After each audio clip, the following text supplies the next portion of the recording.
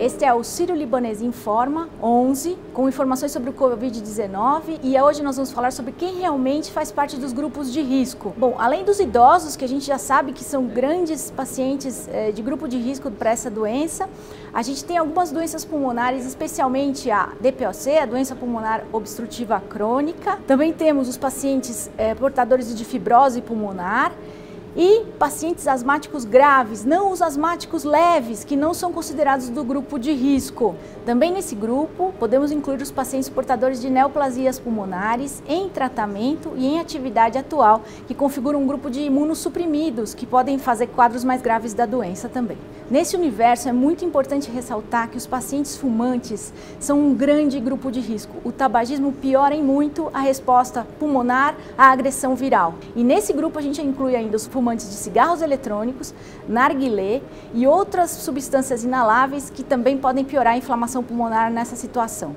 Mesmo as pessoas do grupo de risco que estejam com sintomas ou com o diagnóstico da doença, não devem essas pessoas parar de usar suas medicações de uso crônico, incluindo nessas medicações corticoides de uso inalatório e corticoides tópicos. Essas medicações são importantes para manter o quadro estável da doença crônica e auxiliam na resposta inflamatória ao agente agressor.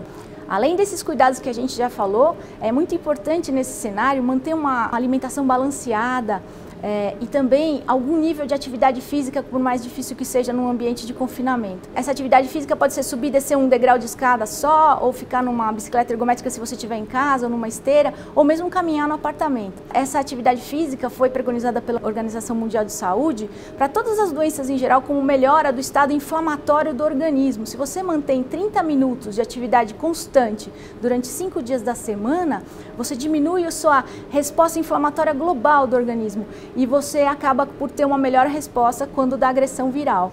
Mais uma coisa importante para a gente lembrar é manter a casa bem arejada, janelas abertas, não se utilizar de umidificadores. Os umidificadores não protegem nessa situação. Muita atenção a esse fato, porque eles podem inclusive virar criadouros de bactérias e vírus se eles não forem adequadamente higienizados diariamente. O ar condicionado é outra armadilha que pode ressecar muito o ar que a gente respira e se ele não tiver uma manutenção adequada dos filtros a cada seis meses, ele pode virar também um criadouro de micro-organismos, incluindo fungos também. É importante dar atenção aos sintomas de gravidade da doença, como falta de ar, febre, dores importantes pelo corpo, dor de garganta como sinal inicial, ainda não grave.